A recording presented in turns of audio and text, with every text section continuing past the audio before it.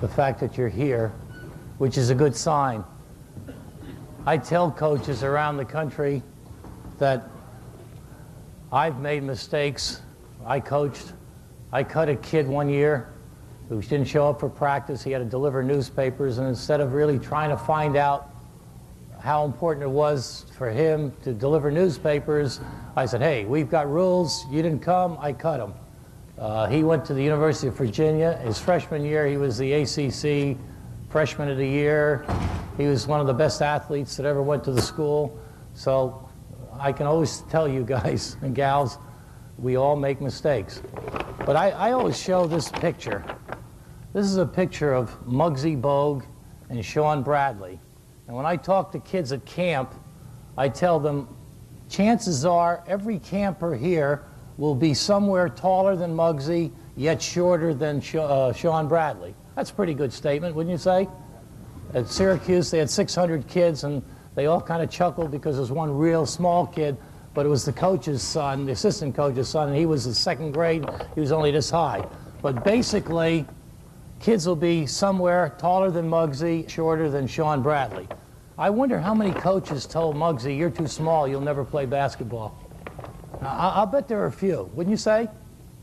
Because I remember uh, when I was an eighth grader, I was so small and so skinny. I got cut, and I thought, my gosh, I thought I was a pretty good player. And the coach said, son, you'll never play basketball. You're too small and you're too skinny. And boy, I'll tell you, that, that, that hurt. Recently, I read, and this is good to know as a coach, that for every negative comment you lay on a kid, this is true, it takes 12 positive comments and experiences to undo that. And we're all guilty of it. You know, we use sarcasm. A kid doesn't do something properly and bang. Okay, now let's get to shooting. Shooting is simple. Shooting is simple. We make it very difficult. There are, there are coaches all over the country. And because you're a good shooter doesn't mean you're a great shooting coach. You know, people say to me, well, you don't have the world's record for shooting, do you? I said, no. But I'm 66 years old. I started doing clinics in 1949 with a kid named Rosey Grier. I failed. I couldn't make him a basketball player. I tried. You know what his problem was? He didn't want to hurt anybody. He was kind and gentle. Yeah, this is the same guy that was an All-American football player at Penn State and played professional football, was a member of the front four, the fearsome foursome with the Los Angeles Rams and the Giants.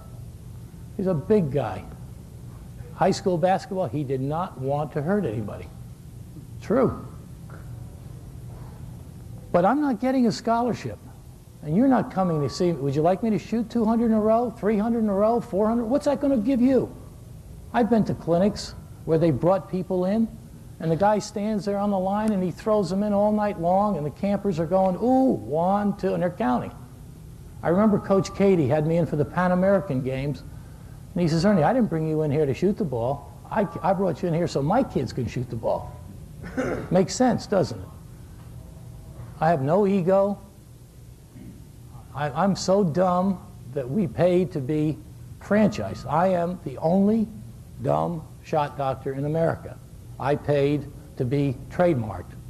And they're a shot doctor. I went to California with my wife, and we run into a camp. I'm wearing a shirt with a picture of me on it, the shot doctor, right? We go to this camp, and they're featuring the shot doctor. And he sure didn't look like me. and my wife got all upset. She said, sue him. Get your lawyer up. I said, where am I going, honey? I'm 66 years old or whatever. He wants to be a shot doctor, let him be. I went to Purdue, and some guy said, boy, Hey, that shot doctor that came here, the little high school, Lafayette, it was terrible. He did a terrible job. He said, never use the backboard. Don't do this. I said, well, I have to pay. But now I retired to North Carolina. I love it in North Carolina. Wilmington, North Carolina, right? And the folks have me in to do a clinic. The same day, newspaper, big headline, shot doctor coming to Wilmington. I said, gee, I wonder how they knew I was coming. I open it up with somebody else calls himself the shot doctor. Now I don't dare send the article to my wife because she's in New Jersey teaching. She's got one more year to go to get her 25 years in. So I, I figured I'd, I'd go retire. No one will know who the shot doctor is. I brought Anthony Mason down from the New York Knicks. He stayed with me. Now Mrs. Starks, John Starks' mother wants him to come down and stay with me. Anthony's shooting 72%. That doesn't sound like a lot, but if you saw him play last year, he was under 50% in the playoffs and he killed the Knicks. And he was shooting from over here and he like rigor mortis set in. And, well, anyway, make a long story short, he likes my drill one so much that he's shooting one-handed now. So I'm going to show you some of the drills. And Tom and Doug have agreed to help me when I call them. But let me just share this with you.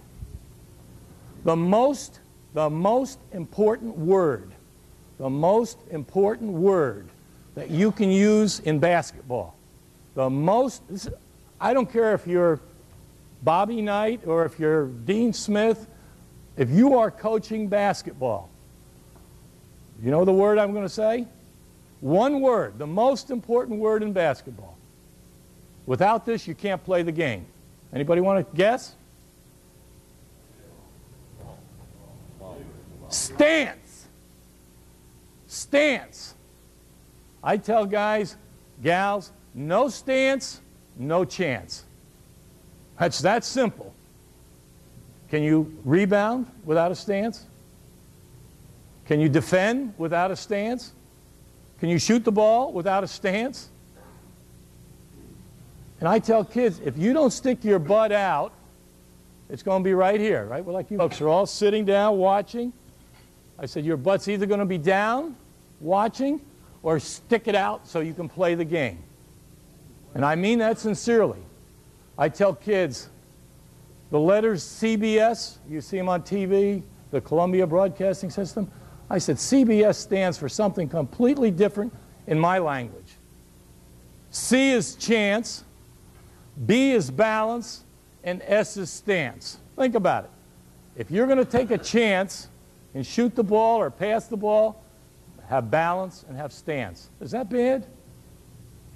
This is, this is one of my biggest peeves. Tom, come up. Tom's guarding me now. Let's go sideways so everybody can see. And I'm not picking on girls because boys do it just as much. He's harassing me, right? And I, I, coaches, don't get mad at me, but somehow coaches like to move the ball with the ball up over the head. They love that. And I love to guard guys like that. What can I do with the ball up here? I can do one thing. What can I do? Pass the ball. I, am no, I'm not a but hey, keep it moving. We run the motion. And I'll talk about that later too. Anyway, now, how close can Tom come to me? How close? Closer. I'm 6 o'clock now. I have no stance. And if I'm dumb enough to move my jab foot back here. He, now he puts me in jail. Now I'm really cooked. So the first thing that we do with kids, we tell them, we're going to make you stronger. That's great. Any, anybody here doesn't want to be stronger? No, okay.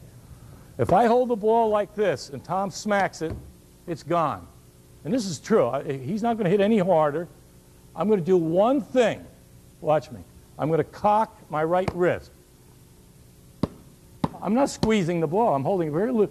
All I did was cock my wrist. Did you know, physiologically speaking, you are stronger with your wrist cocked? Did you know that?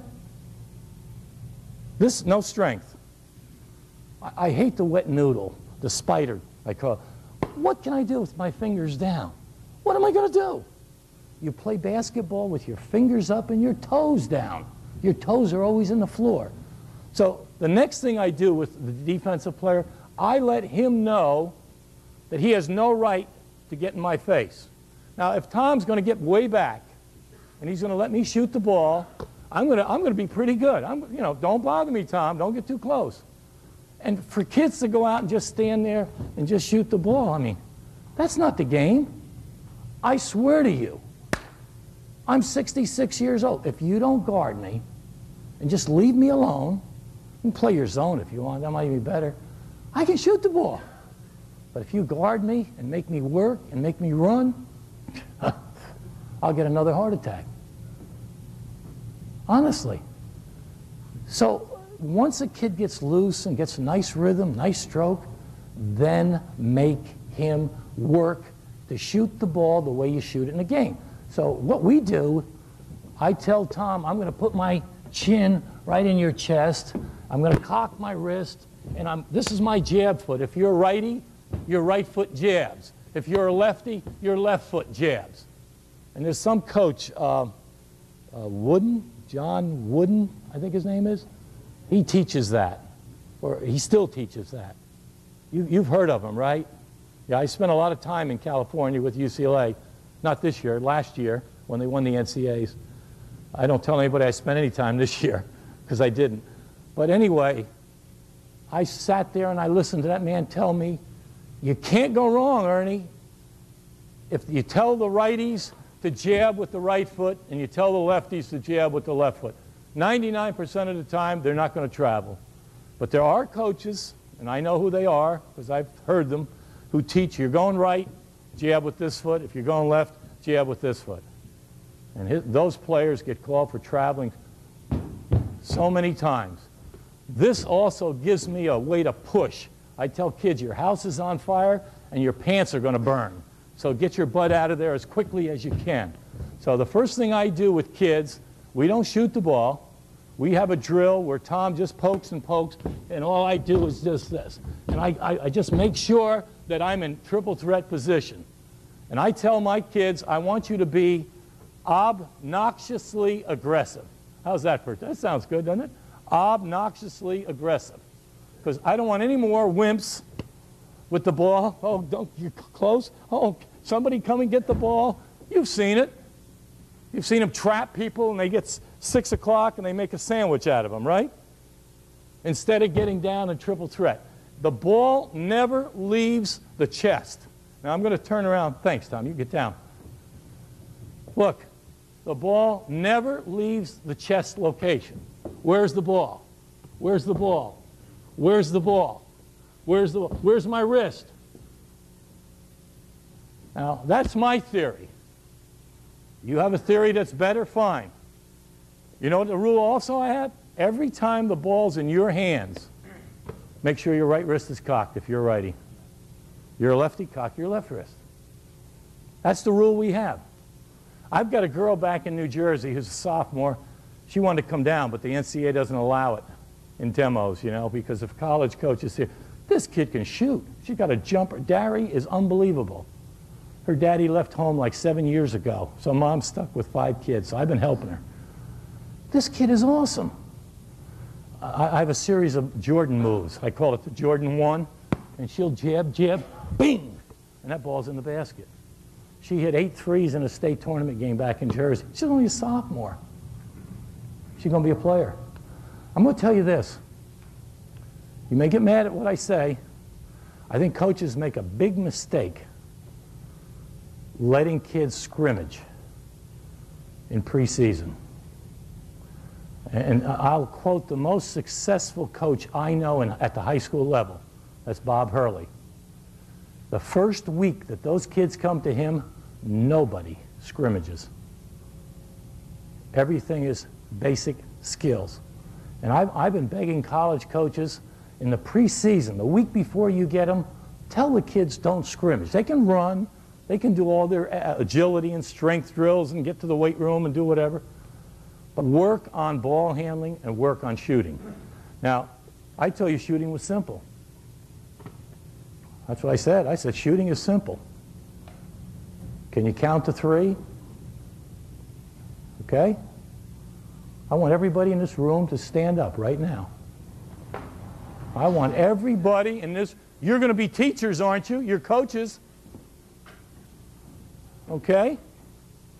Now, Watch. What is a stance? Your feet should not be wider than your shoulders. This is too wide. I can't go anywhere. Now, which foot should be ahead? I tell kids, put the left foot, just the toe of it into the instep, like this, and slide it out. Bend your knees, stick your butt out. Now, the easiest way to teach the triple threat stance that I believe in is Attention. Put the toe in the instep. Slide it out. Bend your knees. Now watch my elbows. Watch my elbows. They haven't left my body. They're still outside my body. I raise my elbows. I show everybody my shooting hand. My wrist is cocked. I bring it to my chest. This is what I call the shooting pocket. And I tell everybody, if you can count to three, I'm, you're going to count to three with me. All right, here, we've got the ball. Now we're going to lift the ball above the eye. One, two. Now, this is what I see, coaches, around the world. One, two. Do I have legs under me now? No, I'm straight. So I tell people if you want to get to the 2 o'clock position, the number 2 position, 1, 2, here's a great drill for you. Ball, please. Thank you. Edge of the chair. Get in your stance. One, two, now come out of the chair. One, two, now come out of the chair. So our rhythm drill, we're going to count to three, everybody. I'm going to go sideways so you can see. One, two, three. One, two, three. One, two, three. I guarantee, I don't say maybe, I guarantee, if you work with rhythm and stance with your kids, this is true story. When I went out to a program where they were shooting 56% from the foul line as a team, I stayed a week. The rest of the season, that same team shot 76% from the free throw line. Now, I didn't have time in a week to overhaul everybody. So what did I do? Rhythm and stance. You know what I told the kids? If you give me rhythm and stance, I'll see you at the big dance. You know what the final line was? They won the whole tournament. Okay? Have a seat. Thank you so much. Now, how do you get a shooting pocket? I'm going to give you a drill that will guarantee you a shooting pocket and a cocked wrist. Isn't that great? Toughest drill I know. Isn't that wonderful? Look at that. Look at that. Get in your stance. Look, why do I do that? Two reasons. I've got my wrist cocked, and I don't want this space to change when I shoot a ball. I used to work with Kenny Anderson, and Kenny used to sling the ball when his legs weren't in the shot. And, he, and Eddie O'Bannon, the same way. And I'd say, one, two, now use your legs and your fingers. Legs and your fingers. And honest to goodness, some schools now, after they stretch, they do this drill without a ball. One, two, high. They even make believe they dribble. One dribble and pull up. Now let me show you what happens. Okay, this guy can't hit the wall. He's the worst shooter in the world. Come on up here, Tom. It's not true. He is a good shooter. Okay, face, face the wall like you're going to shoot. Okay, get in your stance. Okay, now this is what I do. He can be totally blind. And I guarantee you if I put a ball in here like this, now don't shoot the ball, just raise your elbow and stay in your stance. Okay, now see the ball hit him in the face, didn't it? So I'm going to take the ball out. He's in perfect shooting form. Now, if we're five feet from the basket and I tell him, put it up there, I don't know if he can hit the wall here or not. Go ahead, try to hit the wall, Tom. Okay? I do this. We don't shoot. Okay, Tom, you get over there. I'll get over here. You shoot the ball to me. Ready? One, two, stroke it. Okay, watch the chandelier. One, two, hi, Mom. This is what my kids say. Hi, Mom means high extension. I had a little girl named Gretchen Fishburne in uh, Utah, Ogden, Utah last year. She won the foul shooting contest. She made 25 out of 25, and her lips were gone. I said, Gretchen, what are you saying? She's saying, one, two, hi, Mom. I have another girl at Santa Clara who was recruited as a point guard. They said, Ashley can't shoot, so they'll all lay off her. Well, she worked at Lavin Camp, was the assistant at UCLA, and she's shooting the lights out. And one of the top girls in the country, Kristen McKir Kristen is at Oregon. I keep thinking Oregon State. Kristen has a younger sister who's going to be good too. She's one of the top three-point shooters in the country. Now, hey, who are the best shooters? Who are the best shooters in the professional ranks today? Throw a name at number. Name. Come on, throw. Miller. Reggie Miller. Okay. Anybody else? Who's a great shooter? Dale? Dell Curry. Who else? Mitch Richmond. How about Mark Price? Did you know that he's the greatest foul shooter in the history of the NBA? He passed Rick Barry. He has the highest free throw percentage in the history. But now, these guys physically are the strongest and the biggest in the, in the NBA, right? I didn't hear you. No, that's not true then. So strength does not go into shooting, does it? The biggest and strongest guys are not the best shooters. Right? I'd say the strongest guy in the NBA probably Shaquille O'Neal, wouldn't you say? I wouldn't want to mess with him. So shooting then is rhythm and stance and balance. Uh, recently, I watched the NCAA girls golf tournament. They used our course in Wilmington, the Dye course, the Pete Dye course. And I went out and I stood at the 250 mark with my little granddaughter in a straw. I said, boy, we're safe out here. I said, are you kidding? That girl's 110 pounds, tops. They had a longest drive contest. The girl hit the ball 284 yards. I said, man, I know I'm stronger than that little girl. Yet she hits the ball a ton. I can't hit the ball 284 yards. So what is it? It's balance, it's stance, and it's rhythm. I just gave you a one, two, three count.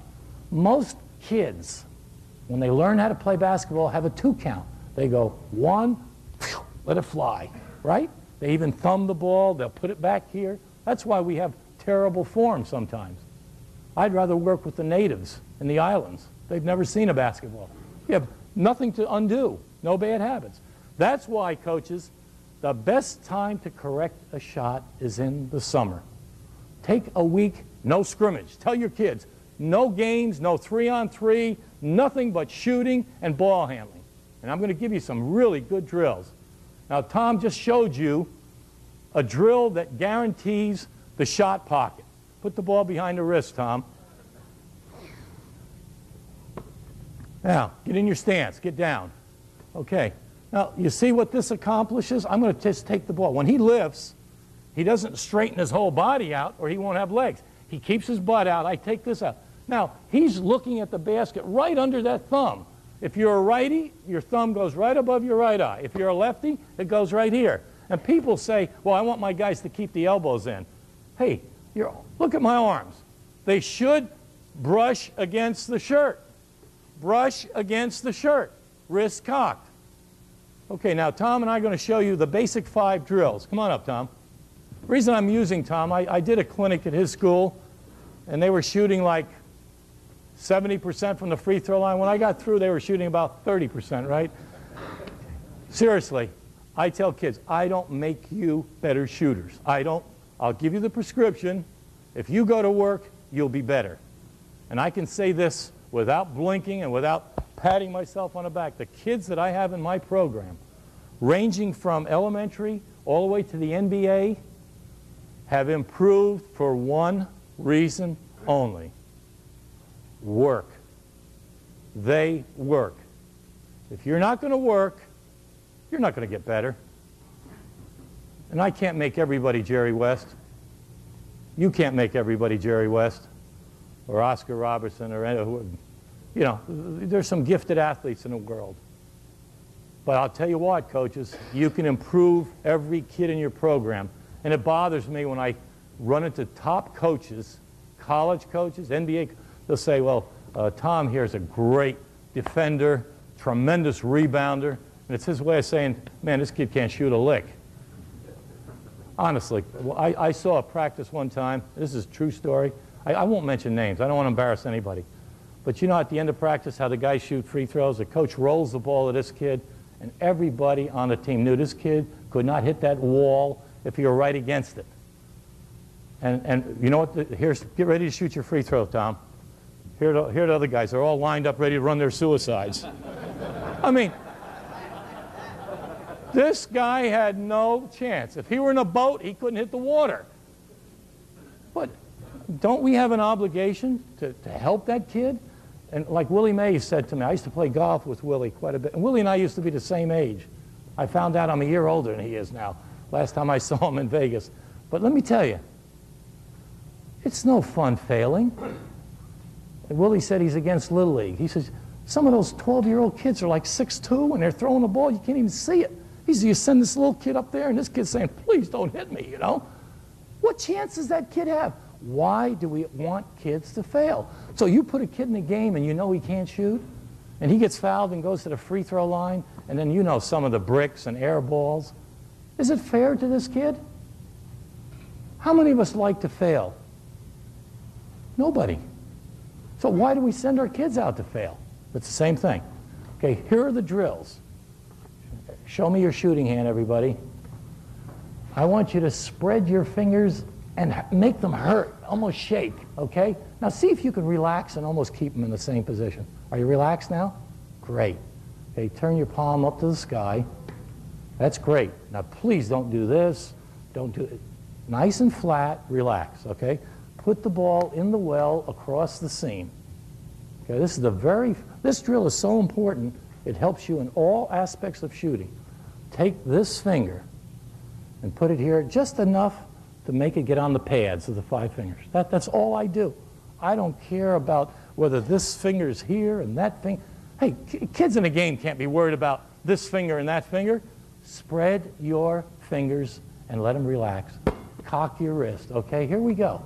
Here's the first drill that we do every single day. And all our drills, by the way, coaches, are in the paint. We don't get out of the paint. If you, if you look ugly in the paint, you ought to see what you look like at three. It gets worse. It doesn't get better. Believe me when I tell you. Okay? We get in our stance, right? The ball's at the chest level. We lift the ball. This hand, you can do anything you want with it except put it here. This is drill one. Now I use my legs and I extend into the target. And I stay around the basket. You can do this without a basket. You can do it against a wall. You can do it against the backboard. My kids even do this, folks. Watch.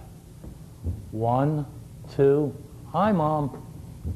One, two. And then when they really get good, when I think they have good ball control, one, two, and let it come right down on the back of your shooting hand because I want you to hold your follow through. Let it come right back down on the back of your hand. I haven't gotten to a basket yet, have I? I'm doing this drill. And, and when you saw Tom do the two, this drill, you can do that sitting down reading. You can do that watching TV. I have parents call me all the time. I have a kid down at uh, Vanderbilt, going to be a real good player, 6'8 kid, Billy DeSpaltro. Mother called me, says, you know, Billy does this 100 times every night, every night. He, he said, uh, Hobby says you got to keep that shot pocket. That's great. That's how you get better. You don't ever want this space to change. Okay, now we just did drill one. We get to a basket. Tom and I move around, so we're not shooting baseline, front of the basket. We don't use the glass yet either. We don't bank them in. Drill two. Here we go. One, two, we add the devil. You know who the devil is? This guy. We add the devil. Now, here's what a lot of players do. Tom, can I have the ball? Watch, Tom's going to guard me. He's going to knock my left hand off the ball when I tell him to. When I say add the devil, they go like this. Now hit my left arm. I have no control. So what we do is this. One, two. Now he hits, he can hit it all he wants. And some kids are so rigid into the left side, you almost have to take a crane to move that left arm and show. It's almost like rigor mortis set in on that ball. They're crushing the ball with the left. Hey, folks, this hand is nothing. That's why we call it the devil.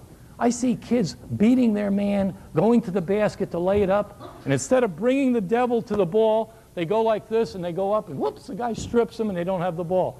Tell your kids, bring the devil to the ball. Don't bring the ball to the devil. That's so easy to remember. Bring the devil, the dead hand, bring to the ball. The dead hand, bring to the ball. When you shoot a layup, when you shoot a hook, we keep the elbow out naturally. Okay? Now, those drills I have on sheets, I, I just spent about 150 bucks running off all kinds of papers and stuff, and they're in, in the car. My granddaughter and daughter-in-law are romping around Myrtle Beach, but they'll be back at noon. And if you, do, if you do want them, pick up my card. My address is on the back. Forget the New Jersey address. On the back is the North Carolina address. And if you want me to send you stuff, fine. If you're interested in a one-day camp or a two-day camp or a three-day camp, Tom, I'm going to do one at his high school uh, and another high school. We're going to split a week. I'm going to go two and a half days at his high school and two and a half days at another high school. That way we can accommodate about 200 kids. And, and the cost won't be that great either. Not even for me, it's not that great. It's not a money maker, but uh, I, I try to help coaches as much as I can. I'm not doing it free, by the way, so don't, don't get. But seriously, everywhere I have been, everywhere I've been, I've been invited back. So it tells you that the kids have been very good and they've worked very hard. And it makes me feel good. It, it also makes me some enemies because the same people want me every year and I, I'm trying to get to other people. Not that I'm good, it's just that I enjoy what I do and I work hard at it. Now, drill three. Drill three. This is the one he's going to do because I'm too old to do this. Here, I'm the basket right here. Come, come on over, Tom. This is the basket. He's going to bank them in on this side and this side. He's going to move his feet as fast as he can, but he's not going to shoot the ball off balance. He's going to work like this. His hands are always going to be above his, his, his eyes. He cannot drop his hands. And you can, have, you can stand under the basket and put your hands out here. If you touch the ball, the guy's out. Or If the ball hits the floor, he's out. So make believe you're shooting him off the backboard, Tom. Get in your stance. But he's got to get, that's it. Okay, you, that's good, Tom. You time him for 10 seconds. Glenn Robinson and Grant Hill were the best at this. They both did it uh, eight, eight layups in 10 seconds. I had a girl do seven and almost eight. Uh, Liz Hanson, who plays at Rutgers. She graduated this year. She played for Vivian Stringer at Rutgers. But that's drill three. And we, we do that inside the paint. Now, the second part of drill three is from block to block. Tom would have to shoot the ball and run. And some of the kids are getting smarter and smarter. I have a really an arthritic thumb, so I got to be careful. After they shoot the ball and it comes through, they might even tap the ball to the other side. They might even tap the ball to the other side. It, it's great, great drill.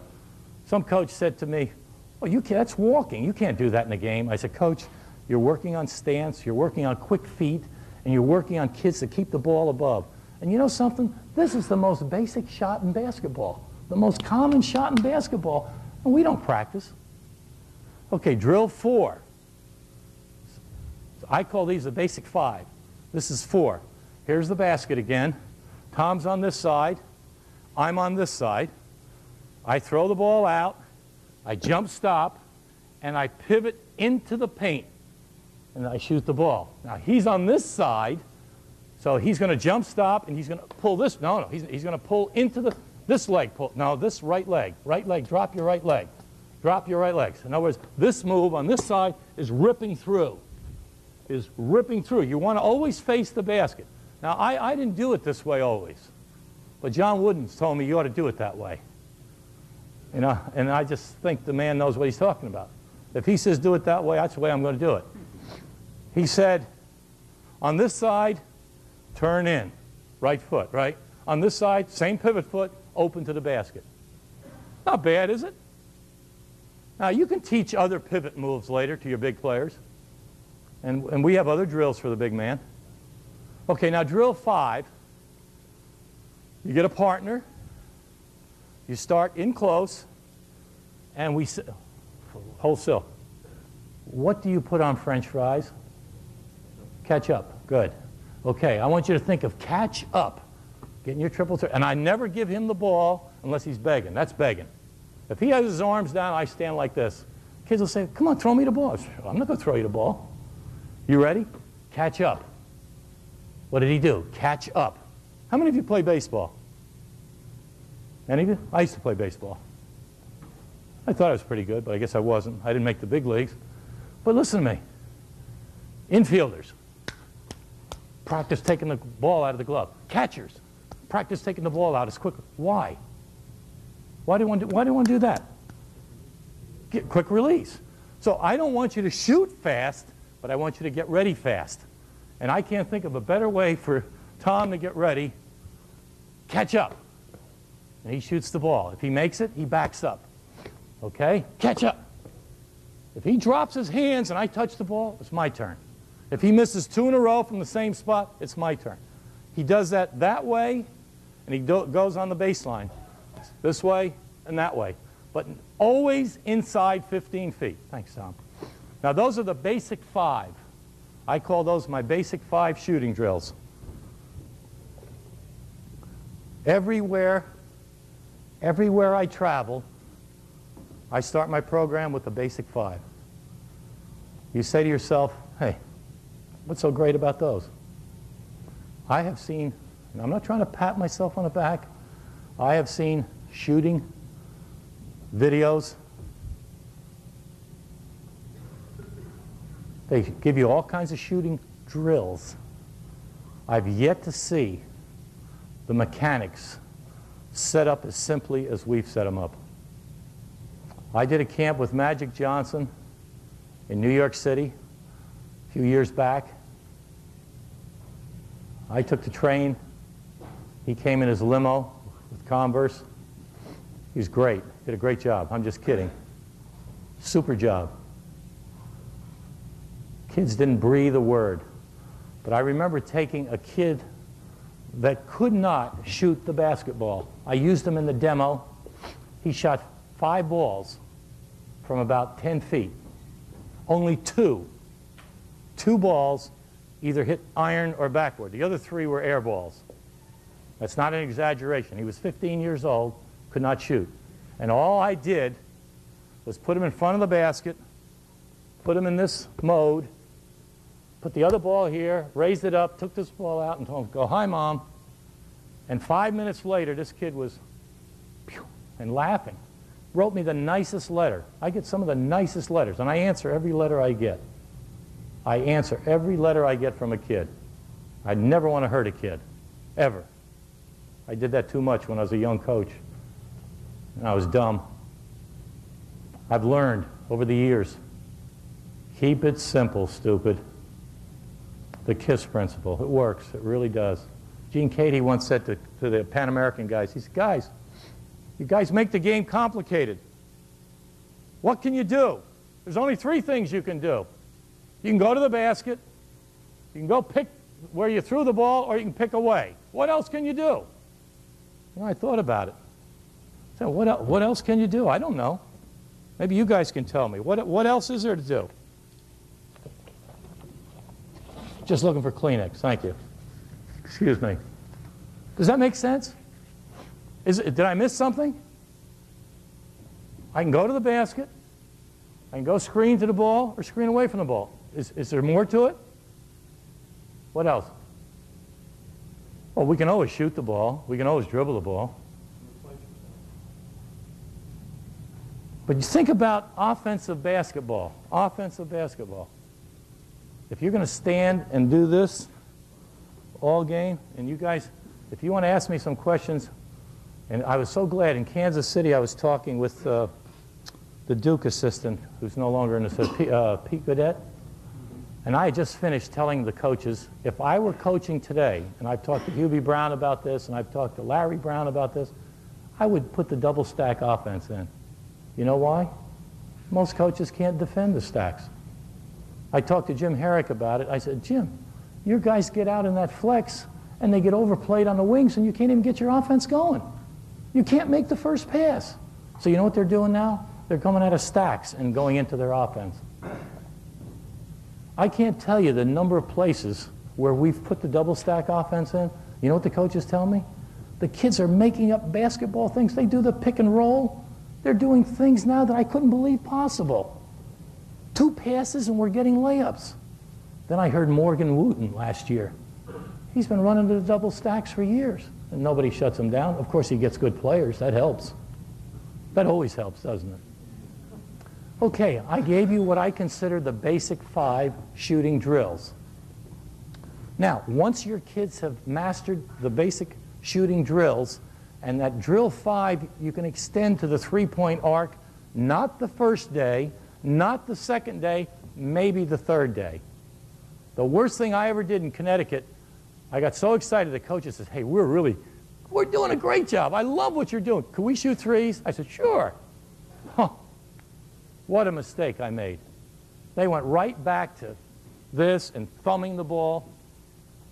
This is thumbing the ball. If you have a kid who thumbs the ball and there's no help, and he's a good player, and you want to help, there's only one guy I know in the NBA who thumbs the ball, Reggie Miller. And that's why sometimes he goes off. If you watch his follow through, that left thumb gets in sometimes. But he's probably shot so many shots that he gets pretty good. There are people who have unorthodox shots who are very good. Jamaal Wilkes had a funny shot. And, and, and uh, yeah, right. Well, but the point is they go in. If it's not broken, don't fix it. That's the bottom line. If the kid can shoot consistently every single time he plays, then, then you, you don't need to worry about it. But I, I, I had a father call me once and said, boy, my kid's a sophomore, and you know I'm talking about Tom because you were with me. Hey, he's a heck of a player. He's on all the AAU teams, and he starts on the varsity for his high school, and he's only a sophomore. Oh, man, and some nights he can really fill it. I swear to you, his outside shot, I'm going to shoot it to Tom. This is his outside shot. I'm going to shoot it to you, Tom. Watch me. On his right foot with two hands like that. Am I right or wrong? You saw the game. The guy went 0 for 4 and didn't shoot another ball the night I saw him play. His dad says, yeah, but you ought to see him knock him down in practice. I said, I've been watching basketball for a zillion years, and I've never seen anybody shoot the ball like that. Now, I said, there's no way he can have a jump shot, which he didn't have. I mean, how are you going to have a jump shot? There is no doubt in my mind. You have to change that. I'll give you one other little tale. The coach at St. Patrick's High School in New Jersey, Kevin Boyle, has Shaheen Holloway, one of the best point guards in the country. He's trying to debate between California, St. John's, and somewhere else. Anyway, when Kevin was an eighth grader, eighth grade, he averaged 35 points a game. They said he was the coming of the next Larry Bird, right? Now, if I, am going to say something to you and you'll say, Hobby, you're nuts. He couldn't shoot. Could not shoot. Averaged 35 points a game. It wasn't big. Could handle the ball. Scored 35 points a game in eighth grade. Freshman year, they brought him right to the varsity. Still couldn't shoot. I'll show you his shot. This is true story. I'm a righty. That was his shot. So his dad said, what can you do? I said, complete overhaul. We got 35 points a game. We overhauled him. Shot 85% from the free throw line. Didn't score 35 a game, but he's a better shooter. Got a scholarship to Seton Hall. Transferred to St. Peter's and broke all of their records for assists. It was a good point guard. Why am I telling you this? Don't be confused with a kid who can score and a kid who can shoot. You decide, is this kid going to be able to play to his best ability at the next level? Does he have the potential? By the way, you know what potential means, don't you? You haven't done anything yet. Right. Very good, Coach. He's one of my old Jersey buddies. He's a lot younger than I am, though. Seriously, you decide, but do this. Give every player a chance to be successful. Okay? Now, here are the next seven drills. I call these the Jordan 7. The Jordan 7, the first part of the Jordan drill, to me, is the most important. And that's the jab step or the ball fake. And by the way, we don't ball fake like this. This is, I call this the George Zidek special. I said, George, you're going from your knees to the sky, and by the time you get back down, the ball's gone. And he gets so upset, some little guy strips him. Play the game from your chest to your nut. Chest, nut. Chest, nut. Chest, nut. Okay, we're in mixed company, or I, I, I can't give you the punchline. But anyway, use your imagination. Chest, nut. Chest, nut. Catch up. Catch up. I used to get on the, on the floor. I'd, I'd lie flat on the floor, and I'd have some kid in camp get up. Tom, make believe you're on the floor down there. Get on your knees, please. Tom knows what I'm going to do. Okay? And I said, tell this kid, all right, come on out and shoot the ball. So he goes, and I'm on the floor and I'm stripping him. And the camp is going crazy. The man's guarding you lying prone. And I stick my hand up and I'm, he's saying, well, get your hand out of my way. I, I can't get the shot off. Am I right, Tom? Thanks, Tom. I mean, it's amazing. Catch up. Catch up. Chestnut. Chestnut. That's how the game is played. So Jordan won. Jab, jab. Don't shoot the ball. Just have them jump. Jab, jab. And don't do this. Cha, I call it cha-cha Charlie. They go. well, the defensive player's going to laugh after he steals your pants, your shoes, and the ball. Get the man off. off. Get him off. Put that nose out there. I got a big one. Push him back. Jab back. Fake. Head fake. Ball. Our ball fake is six inches. That's all. Not up here and down. You'll never get it off. That's drill one. The first time, don't shoot it. The second time, let him shoot the ball. But by the way, don't put him out of three to shoot that. Can't do it. Put him in the paint, and you gradually back him up. And, and the Jordan 7 doesn't always happen at the top of the key. It can happen any place on the court. I had a kid, a high school kid from Utah, I get 41 in the game, and he calls me up. Mr. Hobby, my mother said I got 41 points and I, I did all seven Jordan moves in a game. He said, I didn't even realize it. Hey, if you do these moves enough, you coaches are going to see them. You'll say, oh, that's basic stuff. Next, Jordan 2, jab, jab, put the ball down, layup. One dribble. One dribble from the three-point line, one dribble. Can it be done, Tom? And it can be done by girls, too. Please, don't say, hey, I've got girls, coach. I work with girls, too. And I, you know, guys get mad, but I'm going to tell you this. If God ever made the young ladies as big and as strong as the guys, they'd be better players. You know why? I never stopped a camp presentation in my whole life to tell, young lady, would you mind sitting up and pay attention? Miss, would you please look at me when I'm talking? Please, I want your attention, girls. How many camps I've been to? Hey, you want to sleep? Sleep at night. What's your problem? Get up. And you know, I know sometimes it's a reflection on the camp director. Some camps, they do a great job. They make the kids sit up. One of my favorite camps is the Lavin camp in California. And I, I know you don't believe in it, but they really do a job with kids in discipline. The kids have to sit with their knees up, and they'll sit like this. And the coaches will come out and say, Eyes! They want every eyes looking at them. So when they're in that stance, see, seated, coach will say, Eyes! Eyes! And they'll say, Okay, I want your ears. Stamp their feet. It's amazing. I want attitude. Everybody has a hand up. Attitude, the big A. I said, Steve, well, you can't do that with college kids.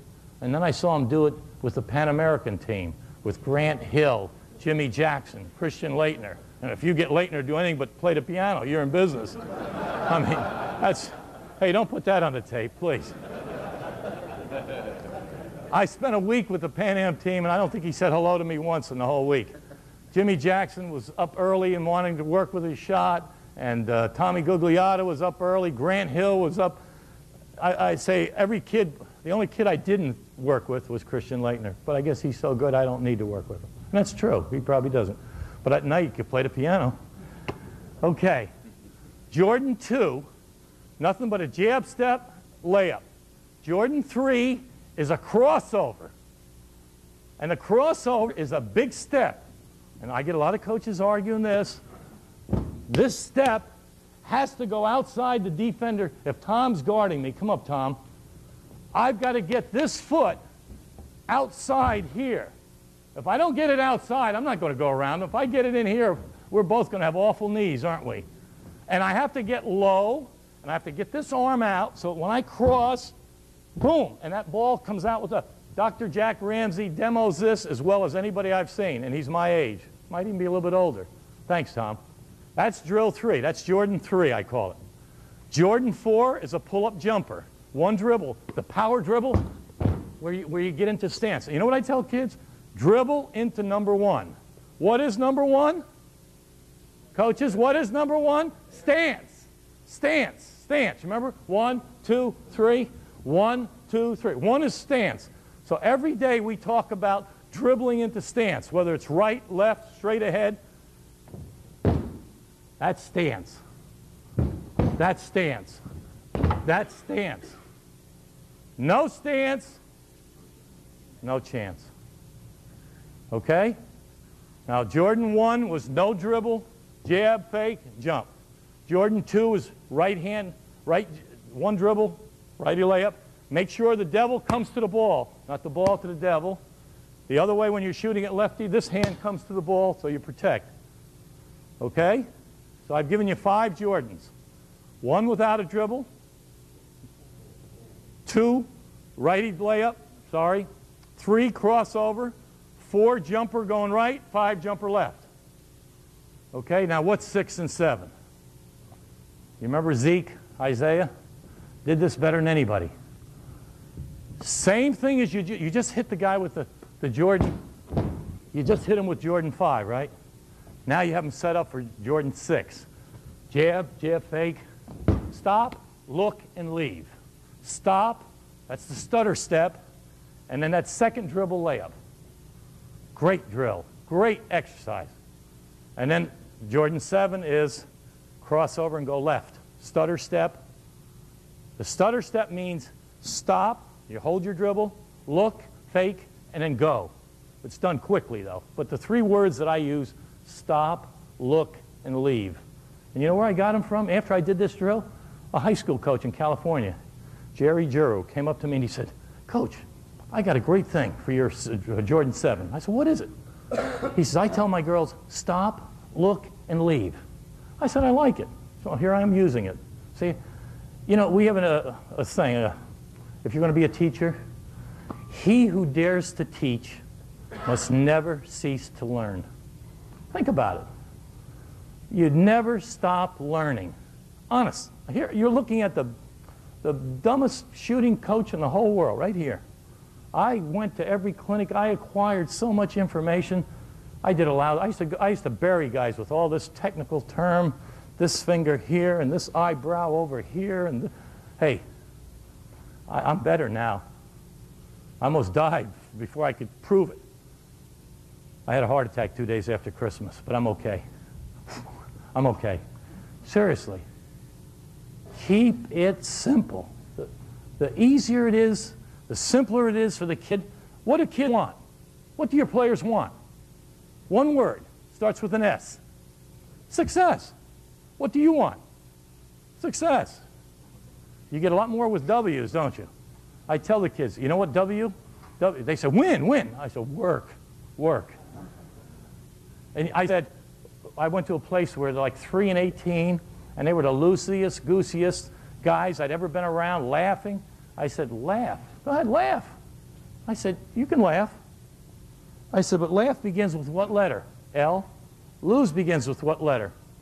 They got the relationship. I know we, we want to learn to laugh, but if you're going to laugh every time you lose, you're going to have stitches, you know, or whatever. I, I don't like to lose. Anybody here likes to lose? Come on. Every, they say you learn so much from losing. You know what I learned? I liked winning better. That's what I learned. Now, winning doesn't mean to grab a kid by the throat and curse at him or embarrass him or, or make fun of him. I, in all my years, and uh, by the way, I was guilty of that. When I first started coaching, I was very sarcastic, abusive. I was terrible. I didn't even like myself. And the good news is I got out of coaching. If I had stayed in it, I'd probably been dead, or the referees would have banned me forever. Honestly, I was not a good sport. And then I'd come home and I couldn't eat and I couldn't sleep because we lost. Hey, don't do it. It's not worth it. But I've never seen a young player on the floor deliberately miss a free throw, deliberately throw the ball away, deliberately travel, deliberately make a mistake. Who wants to look bad on the floor? Nobody. So what do coaches do? They scream and yell and holler, you stupid so-and-so. That's true. I see it all the time. I went to a game one time. It was a 20-point game at halftime. And one of the girls I'd worked with said to me, my niece, six feet three. Six feet three, sophomore in high school. She's a backup center for two years. Couldn't play JV ball because she was too good for the JVs. Backup center. Center on the varsity was five feet seven. Five feet seven. She's six feet three. But anyway, the coach said, girls, you can't beat this team anyway. Go out and do whatever you want to do. I'm embarrassed. Is that great? Isn't that wonderful? Hey, the guy's a loser. I said to my niece, I said, Shauna, how often do you practice? Well, we never practice on Friday and Saturday. Really? I said, what about the holidays, Christmas vacation? Well, he lives in another town and he doesn't come back for Christmas vacation. I said, that's great. I said, well, how long are your practices? He said, well, we go about an hour and a half. I said, well, I went in and I did a free clinic for you, for your coach. I, I spent two days. The girls were, were, were so pathetic. They were like a bunch of toy poodles. You know how the toy poodle goes out on the leash? And this is the way they dribble up the floor. And the other team would come by and strip them, and they'd still be going like this. Honestly, it was the most pathetic thing I'd ever seen in my life. These are high school players. Get down. Get like a crab. Get big. Make yourself wide. And I did some, some work. I said to my niece, I said, does a coach do those drills or do you work on it? No. What was your record this year? We won three. Three or four? Three. three. They won three games last year. And they got a six foot three girl sitting on the bench. I took her to a couple places in Wilmington. The coaches wanted her to transfer immediately. Come to my school. And you know, not because she's my niece, not because she's six foot three, but coaches. How many of you coach girls basketball? Raise your hand, please. How many of you have six three sophomores that can shoot the ball, that weigh 175 pounds, are strong around the board, can block shots and pitch it? Any of you have those? What do you do when you get one that big? You make her a player, right?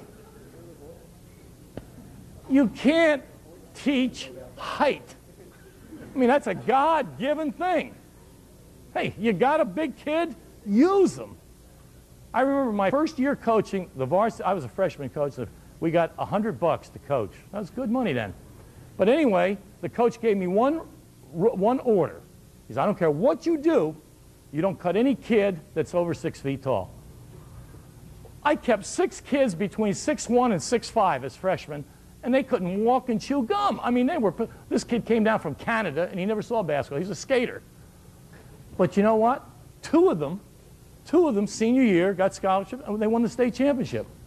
Two out of the kids. So they all didn't make it, but the coach would not let me cut one of the big guys. N no question in my mind. If you've got a big kid, they're not going to be as coordinated. But you know what? If you work and you work and you work, Tom brought over a kid. I mean, Willie's what? Six, six five, sophomore. I'm built like a like a Greek god. Beautiful body. Couldn't shoot, right, Tom? Tom and I spent some time with him, and now the kid has a nice setup. I'm not saying he's great, but from foul line in, he was pretty automatic, wasn't he? Now, what would happen if he spends an hour a day doing the basic five and the Jordan 7. And by the way, coaches, the Jordan 7, we start in one corner. I'll get a bunch of kids at each end of the court. And the, whatever the first kid does, the kids behind him in line have to do the same Jordan move. And they work their way all around the arc.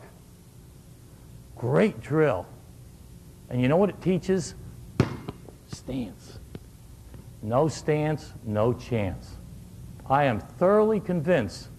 Now, What else can I do to make my players good? Well, some of my girls, some of my guys don't get in the weight room. Okay. All right, Tom, I want you to do a push-up on the wall. Two-ball push-up on the wall. I can't do it because I have arthritic thumb.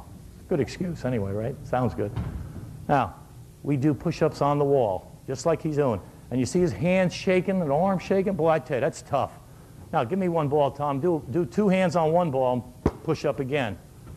Keep it a little bit lower. That's it. Now, that, what does that do? That makes Tom's hands and arms strong. Okay? That's great, Tom. Good job. You're in shape. After Tom gets good at the wall, then we put the two basketballs on the floor with a spotter, and we do push-ups on two basketballs, having our chest touch the floor.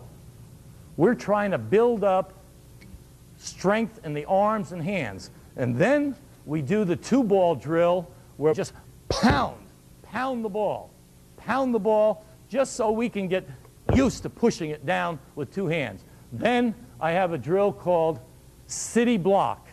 City block, two words.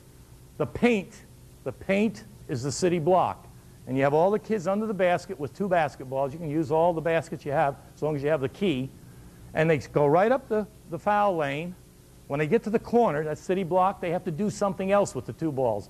Either one high, one low, or spin. And they go across the foul line to the other corner and then back to the basket.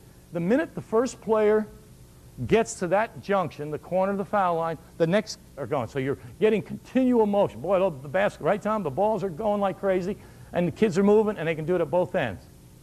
Now, have them go the other way. Start on this side. Go left, turn right, turn right, and come home. Okay? That's city block. I think you'll probably save your budget a few bucks. Oh, boy, I better not say this. You guys still work for that big ball? Uh-uh, come on. I say do everything with regular basketballs. You don't need any gimmicks. You take two basketballs and see me in the morning. That's what the doctor said. Take two basketballs and see me in the morning. You can do so much with two basketballs. Everywhere your kids go, instead of running suicides, make them take two basketballs. It's great for the coordination. Tremendous. Now, after they do city block, we do a drill called double cross double cross. We dribble the two basketballs to the middle of the paint.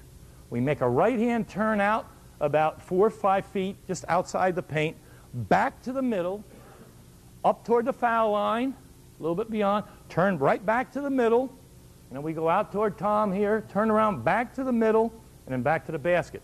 The tough part about this drill, the minute they get to the middle, right here, and make that right turn, the next person's coming with two basketballs.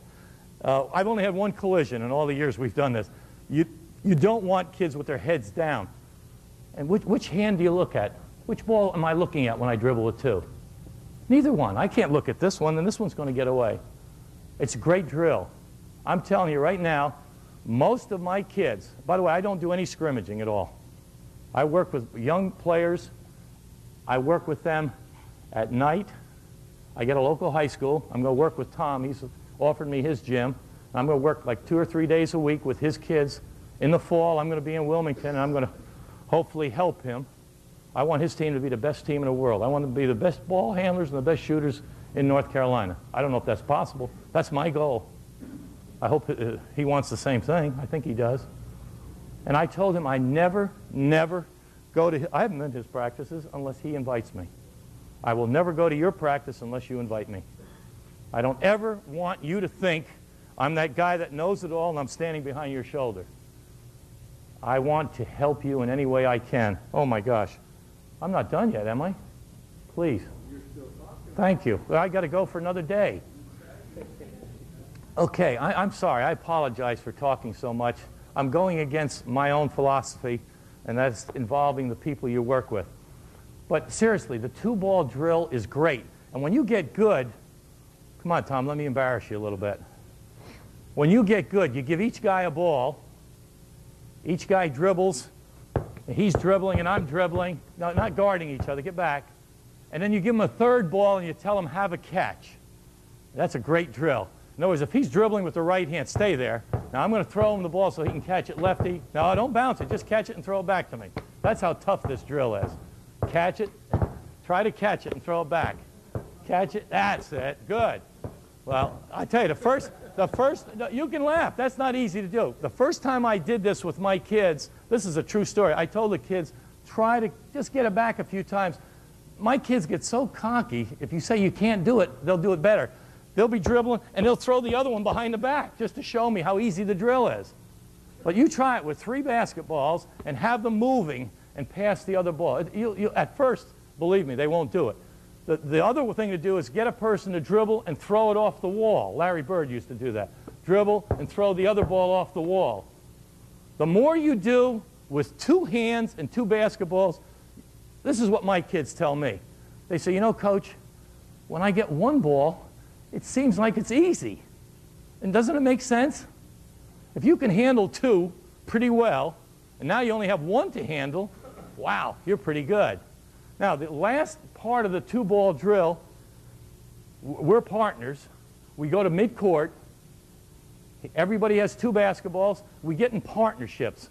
I'm on defense, so I put my hands behind my neck and I move and I guard him while he's dribbling. And as we reach the top of the key, I open to the basket. He holds the dribbles, gives me the one ball, left hand. Keep your dribble going, though. I go in, lay it in, and then he stutters and he goes in and lays it. And we do that all the way around the court, so we're not coming in right-handed always. We're coming middle. It's a great drill. It's a great drill. First of all, he's used to having someone right here in front of him, so he's got to put some moves. He can't run over me. And the other option to that is to just to put catchers at, at the foul line extended and have the person just dribble from midcourt as hard as they can and make a pass to the right and go in and shoot a lefty layup or make a pass to the left and go in and shoot a righty layup. Okay? Now those are what I consider the basic things. I just gave you something for upper body strength. I also have something for lower body. And hold those, Tom. You notice the, the lines, the jumping as fast as you can in the quadrants. One, two, three, four, and back. And on one leg, on the other. You do them in 10-second intervals. You jump up and put your knees in your chest, or you jump up and you kick yourself in the butt. Now, I have all those, I have all those listed here in my little booklet. Now, what I really, really try to get across to coaches, you can spend one day on upper body stuff, and then the next day spend the entire day on lower body stuff. So what I did, I put agility drills on the top and strength drills on the bottom. This isn't the Bible. I've worked with the New Jersey Nets. I've worked with the New York Knicks. The trainer who worked with me is now the trainer at the, or the strength coach at the Cleveland Cavaliers, Rich Dalatri. And they send me materials continually. Uh, I remember when the late Drazen Petrovic was with us, he used to run and run and run and do drills, lift weights, and then come in and shoot the ball for hours. And that's why he became an all-star in the NBA. That guy couldn't jump over a line. He would trip over a line. But he worked. And some of the other players got a little jealous because he worked so hard. They were afraid they'd have to work as hard. Now, this other little bit, I want to, before I just break, break it down into finals, this is a short course in human relations, and I'm guilty. I raise my hand. I'm guilty of not following this. The six most important words in, the, in our vocabulary I admit I made a mistake. The five most important words you did a good job. The four most important words what is your opinion? The three most important words if you please. The two most important words, thank you. The one most important word, we. The least important word, I. This is in my little booklet that I give to kids. And as I say, I, have been guilty of doing it. I also have a little excerpt from, I have John, uh, John Wooden's Pyramid of Success in here. And I have this little saying from Michael Jordan. You guys remember him, right? If you're under 18 years old, you've only lived about one-fourth of your life. That means you have the remaining three-fourths of your life to accomplish anything you want. Don't blow it. Don't do drugs. If you are doing it, stop. Get some help. If you haven't experimented with drugs, don't start. Give yourself a chance to succeed and be all the wonderful things you can be. And that's a quote from Michael Jordan. Now, I put together booklets like this when I do clinics. I also do, as I say, a whole series of camps. They're all sequential. I'm not trying to advertise because, believe me, I, I, don't need work. Tom will tell you that. He comes to my house and we get calls from everybody in the world. And one place I really didn't want to go, and I hope nobody's from there. Anybody from Mississippi? I've got to go to Mississippi in the middle of June, and I hear it's like 120 there, and it's not air conditioned. So I've got to go do a three-day clinic in Mississippi, a town called Grenada or Granada. But when coaches ask me, I try to accommodate them as best I can. I don't always do it. Now let me just finish. What time am I supposed to finish? Somebody tell me, because I haven't seen a program. What, what does it say on the program? Noon to, oh, great, great. Um, uh, do you guys want to ask some questions before I get into the next? I'm sorry. Please. Tom, you can sit. Thank you. You have any questions for me? I get too excited about this. Yes, sir. Do you teach the one-two step? No, I don't. As a matter of fact, Pitino's given up on the one-two step.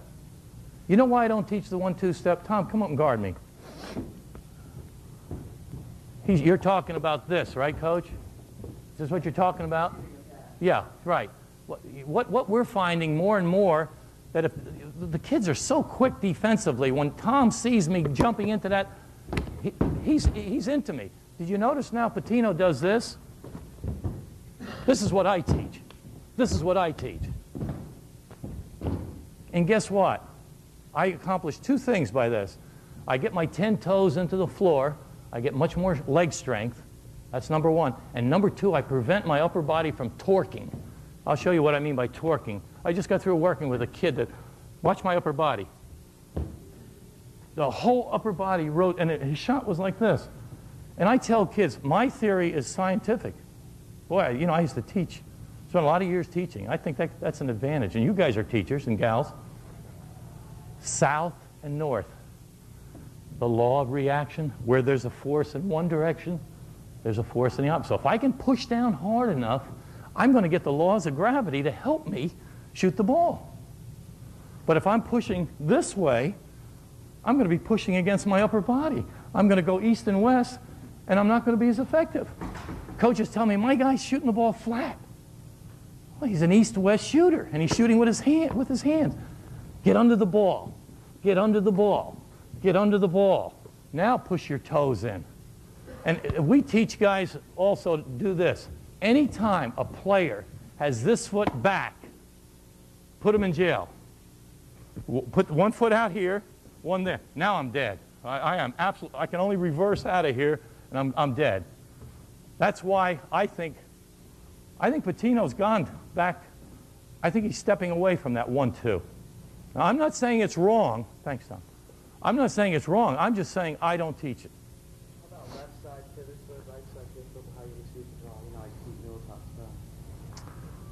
That, that's another one. I'll be honest with you. I try to get my kids to jump stop when they're going right or left. And that's that way I avoid that right or because I remember initially I used to teach this. They're good questions, coach. I used to teach this. If I were going this way, I'd plant my inside foot, turn so I'd face the basket. But I find, well, I tell you, you watch these kids today, they all have that, that, that long, that dribble hop, that dribble. Boy, that's a fabulous move. It looks like travel, doesn't it? But that's what I, is that what you're referring to? Yeah. I, I, I'm getting away. See, that, that tells you how old I am. I'm getting away from heel, toe, pivot into the basket. I, I, don't do that. I try to tell my kids, jump into your stance, dribble into your stance. And, and this may or may not help the question. Are there any other questions? Okay, free throws. Did you know this? And I've been asked this by radio, TV, Sports Illustrated. I think the February issue with Magic Johnson on the cover, shooting the brick by Alexander Wolff. I think he had my name in there a couple times. Big deal. But what he asked me, why are shooting percentages declining? That's very simple in my book. The three-point shot. Go to the playground. Kids are all firing them up from three. How many times have you gone by a playground, pickup game, and watched kids shoot free throws? They don't stop to waste time. You take the ball out. We don't even shoot the free throws. I went to a playground the other day. The biggest kid was about five nine, and he was throwing the ball up and trying to catch it and dunk it. And I, I don't want to be called a racist or anything, but he's a little white kid, about this big, and he had the hat on backwards, and he had the baggy pants, and he jumped about that high. He didn't even get the bottom of the net. Now, like I say, I'm not trying to put anybody down, but that kid could stay there for six years steady, and you could stay there and boost him, and he'd never touch the net. So why is he trying to dunk the ball? If you want to dunk the ball, then go work on some leg exercises, get your legs strong, and learn how to jump. And you know what I tell kids? I'll take a kid that came out of poverty, out of Jersey City, Bobby Hurley. Had a great career at Duke, didn't he? How many dunks did you see him make? Zero. How many dunks did you ever see Mark Price make? Zero. Now, people say to me, well, Bobby Hurley never made it in the NBA. I said, whoa, whoa, time out. Got $16 million. You get 16 million for what you do? You get 16 million for what you do? Not hardly. So did he make it? I think he made it. Sure, he's not tearing up the NBA. Not too many guys jump out of college and tear up the NBA. You know, there's, there's only a few Michael Jordans in town. People say to me, you know, I want to be able to dunk the ball. Did you know for the last seven years, free throw shooting has declined from something like 69 point something down to 66 at the college level? Do you know that three point shooting has declined every year? Do you know that the two point shot has declined every year in the same time? Why? Well, now they have shot clocks in college, and they're hurrying shots at the end. And if they get behind a bunch at the end of the game, what are they firing up? They're firing up threes. When the three came out, they were taking one every five shots, your team took a three. The latest stat said one every three and a half shots is a three. So that to me is why shooting stats have gone down. What you just saw us do, the basic five and the Jordan 7, putting that ball in behind your wrist, I guarantee your kids will shoot better if you work with them. I guarantee that. There's no question in my mind. And also, don't start with three-point shooting. That's the last thing in your program. And when you finally get the kids to back up, back up, back up, make sure you emphasize two of the most important ingredients. And that goes with what you just said to me, Coach. Ten toes driving into the floor, that coil. This is where you get all your juice. Shooting starts from 10 toes, okay? And the second most important thing on a three-point shot is that high extension, that high mom. If you exaggerate this effort and you exaggerate the high mom, you're, you're going to be there. I guarantee you're going to be there. Now, when you shoot free throws, don't start on the free throw line. It kills me what I see. Start maybe at the broken circle and have them back up. Here's the ball. Referee gives me the ball. This kills me.